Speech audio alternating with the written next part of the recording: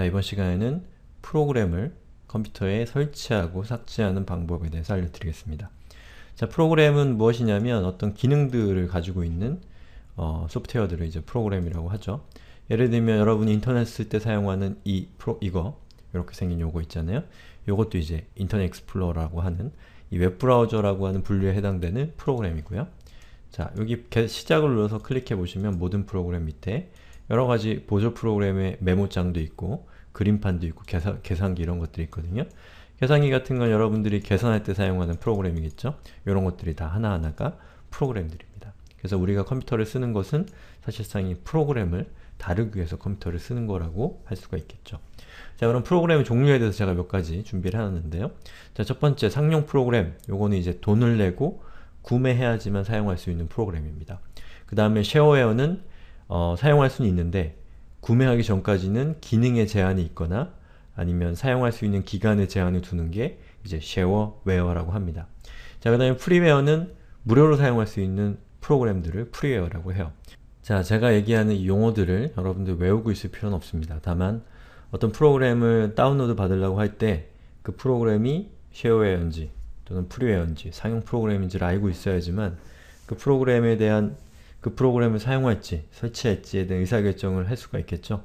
그러니까 용어 정도는 알고 계시면 좋겠고 예, 뒤로 갈수록 뭐 여러분이 컴퓨터를 오래 하다 보면 각각의 용어가 무슨 뜻인지는 차차로 알게 되니까 일부러 외울 필요는 없다는 얘기입니다. 자, 그 다음에 설치 방법과 제거 방법이 있는데요. 이건 너무 간단하게 설명한 거라서 큰 도움이 안 되고요.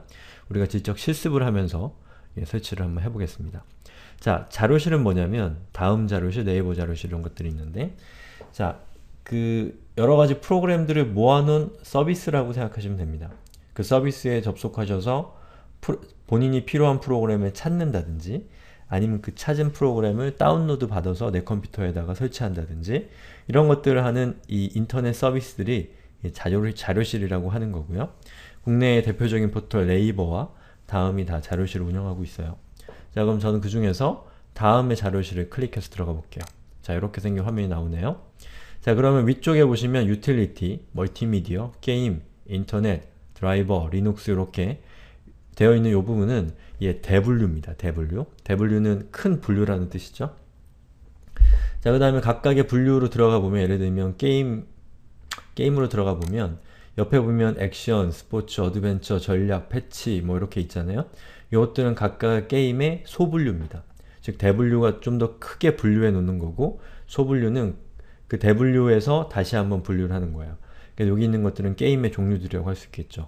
예. 요 위에 있는 것들은 프로그램의 종류라고 할 수가 있겠고요. 자 그러면 제가 지금 하려고 하는 건 뭐냐면 여러분들이 여러분 컴퓨터에서 동영상 또는 음악 같은 것들을 듣고 싶어요. 근데 그것들을 하려고 하니까 어, 그 동영, 동영상 같은 것들을 들을 수 있는 프로그램이 안 깔려 있는 거죠. 그래서 어떻게 하면 그 프로그램을 깔까? 라고 하는 걸 설명드릴 건데 제일 먼저 본인이 필요한 프로그램이 무엇인지를 예, 추측해서 그걸 찾아내는 능력이 필요합니다. 일단 지금 동영상을 재생하려고 하니까 동영상을 재생하는 프로그램이 필요하다는 걸 알고 계셔야겠죠. 예. 근데 이런 것들을 처음부터 알긴 힘들어요. 근데 우리 수업 자체가 여러분들이 컴퓨터를 통해서 활용할 수 있는 주요한, 중요한 이 프로그램들을 아주 많이 소개해 드릴 거기 때문에 나중에 컴퓨터를 새로 바꿨거나 아니면 다른 사람의 컴퓨터를 쓴다거나 그럴 때 본인이 필요한 프로그램들을 예, 그 안에선 찾을 수가 있겠죠. 그리고 점점 더 여러분들이 경험을 쌓다 보면 본인이 필요한 게 무엇이고 그것은 어떻게 찾는다 라고 하는 것들을 경험적으로 이해하시게 되는 날이 올 거예요. 그러니까 조급하게 생각하지 마시고 어, 제가 설명드리는 거를 잘 따라오시면 됩니다. 자 그러면 멀티미디어에 들어가서 지금 제가 하려고 하는 것은 동영상을 재생하려고 하는 거니까요. 동영상 소프트웨어를 클릭합니다. 그럼 여기 여러가지 프로그램들이 나오네요. 그렇죠? 근데 이 프로그램들 중에서 어, 뭐를 설치하면 될지를 알기가 좀 쉽지가 않네요. 그러면 어떻게 할까요? 자 그럼 멀티미디어로 다시 들어가서 클릭해보면 멀티미디어 추천 자료가 나오거든요. 여기 있는 이 자료들은 어, 이 다음 자료실에서 여러분들에게 추천해주는 동영, 동영 상이나 이 소리와 관련된 프로그램들을 나타내는 겁니다. 자 그럼 전 요 중에서 곰플레이어라고 하는 프로그램을 어, 설치를 해볼게요. 자, 요거를 클릭해보면 자, 이 프로그램에 대한 자세한 설명들이 나와요. 공개 여부에는 프리웨어라고 적혀 있죠. 프리웨어가 뭐였죠? 돈을 내지 않고도 사용할 수 있는 프로그램이 프리웨어라고 말씀드렸어요. 그리고 자료평가가 4.5점이면 5점 만점에 4.5점이니까 꽤 높은 점수를 받고 있네요. 그리고 금주 다운이 7만 8천 건이니까 어, 한 주 동안 7만 8천 건을 다운받은 거네요. 그러니까 많은 사람이 다운받고 있고 자료 평가가 좋으니까 이 프로그램은 어느 정도는 믿고 설치할 수 있는 프로그램이라고 보여줍니다. 자, 근데 한 가지 제가 말씀드리면 자, 프로그램이라고 하는 거는 어, 여러분이 여러분의 어떤 생활에 도움이 줄 수 있는 프로그램도 있지만 여러분의 컴퓨터를 파괴하거나 또는 컴퓨터 안에 있는 개인정보 같은 것들을 그 나쁜 사람에게 전송하는 그런 프로그램도 있, 있습니다. 그렇기 때문에 반드시 제가 반드시를 두 번 붙일게요. 반드시 반드시 어, 신뢰할 수 있는 사이트에서 신뢰 정황상 신뢰할 수 있는 프로그램만 설치하셔야 됩니다. 근데 지금 여러분이 컴퓨터를 처음 배우는 단계라고 하면 어, 정황이라고 하는 것도 믿으시면 안 돼요. 예. 믿을 수 있는 사람이 설치하라고 하는 프로그램이나 아니면 우리 효도 코딩에서 설치하라고 말씀드리는 그런 프로그램들만 설치를 하셔야 됩니다. 예. 아무리 좋은 프로그램이라고 홍보를 해도 그 프로그램이 믿을 수 있는지가 애매하면 설치하시면 안 됩니다. 아시겠죠? 요, 요것만 잘 지켜주시면 컴퓨터는 컴퓨터를 안전하게 사용할 수가 있어요. 자 그러면 여기 보시면 초고속 다운로드가 있고 다운로드 버튼이 있어요. 이 버튼을 이 버튼 중에 저는 다운로드 버튼을 클릭하겠습니다. 자 그럼 다운로드가 뭔지 여러분들이 좀 아셔야 되는데요. 자 다운로드는 자 이 프로그램이 지금 제 컴퓨터에 없잖아요. 그리고 우리 인터넷을 통해서 이 다음에 자료실이라는 데에 접속을 한 겁니다. 그 얘기는 다음 자료실에는 곰플레이어라고 하는 저 프로그램에 대한 파일이 있지만 내 컴퓨터에는 없는 거예요. 그럼 여러분들이 뭘 해야 되냐면 인터넷을 통해서 다음 자료실에 있는 저 곰플레이어라고 하는 프로그램의 설치 파일을 내 컴퓨터로 가져오셔야 됩니다. 그 가져오는 행위를 다운로드라고 해요. 아시겠죠? 자 여기서 확인 누르고요. 자, 이 사이트에서 배포한 ActiveX 컨트롤을 필요합니다. 클릭하세요 라고 적혀있죠. 이렇게 되어 있으면 자 여기서 이 노란색으로 적혀있는 부분에다 마우스 포인트를 올려놓습니다. 그리고 마우스 왼쪽 버튼을 클릭한 다음에 ActiveX 컨트롤 설치라고 하는 부분을 선택하면 자 이렇게 화면이 바뀌어요. 그리고 다시 다운로드 버튼을 누르시면 이 소프트웨어를 설치하겠습니까? 라고 물어보거든요. 거기서 설치 버튼을 누르시면 됩니다. 그럼 조금만 기다리시면 자 이렇게 생긴 화면이 이렇게 떠요. 자 그리고 전송 시작이라고 되어 있는 이 버튼 있죠? 요거를 클릭하면 자 여기 보시는 것처럼 전송 상태가 바뀌면서 어, 요 초록색 막대기가 점점점 오른쪽으로 오고 있죠. 그리고 여기 있는 퍼센트가 숫자가 올라가고 있습니다. 이건 뭐냐면 여러분의 컴퓨터로 이 파일을 인터넷을 통해서 다운로드 받고 있는 겁니다. 그래서 이게 100%가 되면 다운로드가 끝난 거예요. 그럼 그 다음부터는 설치를 시작하면 되겠죠. 자 그럼 조금만 더 기다려보죠. 자 이렇게 완료가 됐습니다. 100%가 되면 완료가 된 거고요. 자 그럼 여기서 폴더 열기라고 하는 거를 선택합니다.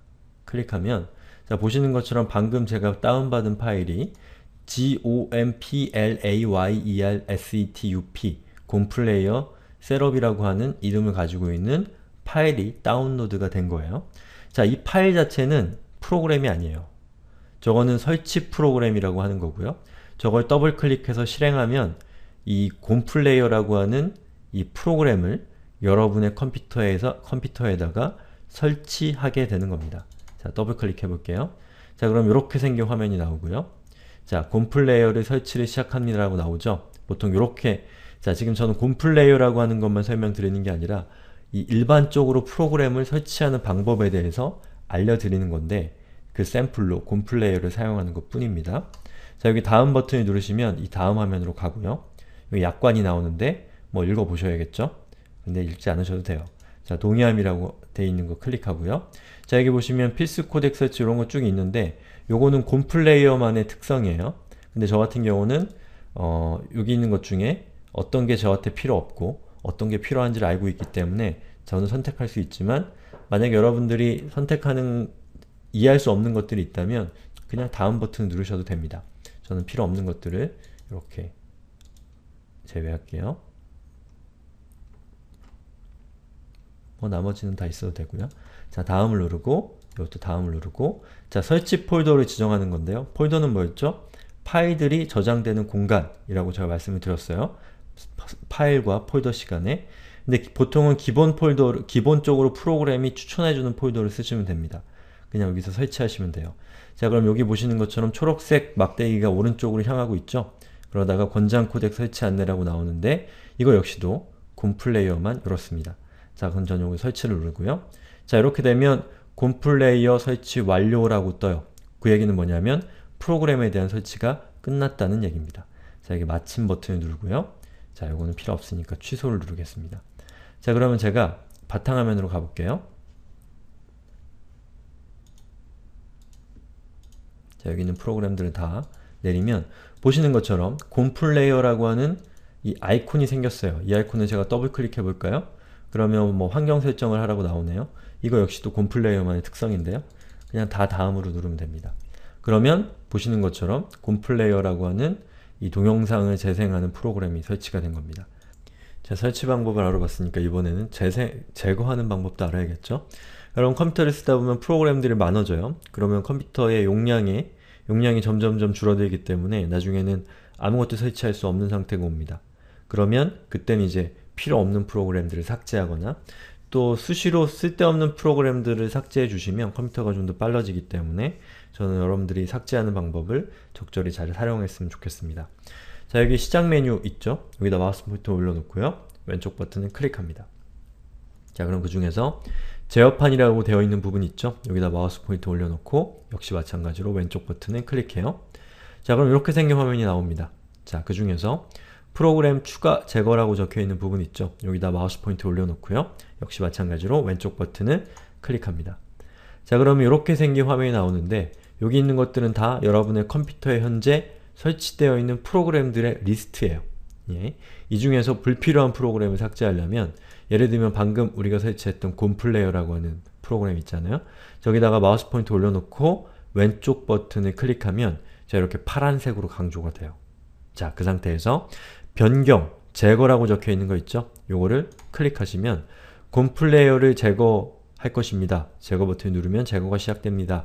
라고 하는 화면이 나옵니다. 요거는 꼭 이렇게 생기지 않을 수도 있지만 거기 있는 메시지들을 잘 보시면 여러분들 충분히 할 수 있어요. 자, 제거 버튼에다 마우스 포인트 올려놓고 왼쪽 버튼을 클릭합니다. 그러면 여기 있는 초록색 막대기가 왼쪽, 오른쪽으로 가죠? 끝까지 가면 삭제가 끝난 겁니다. 그리고 완료 버튼을 누르면 예, 완료가 된 거고요. 자, 그리고 제가 바탕화면으로 와보면 아까 여기에 있었던 곰플레이어가 삭제된 것을 볼 수가 있습니다. 자, 제가 이번 시간에 여러분들에게 서, 설명드렸던 것은 이 곰플레이어라고 하는 프로그램의 설치와 제거를 통해서 일반적인 프로그램의 설치 제거 방법을 알려드렸거든요. 그러니까 여러분들 프로그램 설치하는 거에 대해서 그 어, 검증된 프로그램에 한해서 설치하는 거에 대해서 걱정 너무 두려워하지 마시고 컴퓨터를 프로그램을 설치하고 또 불필요한 것들은 삭제하고 이런 것들을 하면서 여러분의 컴퓨터를 통해서 활용할 수 있는 능력들을 점점점 확장시켜 나가시길 바래요.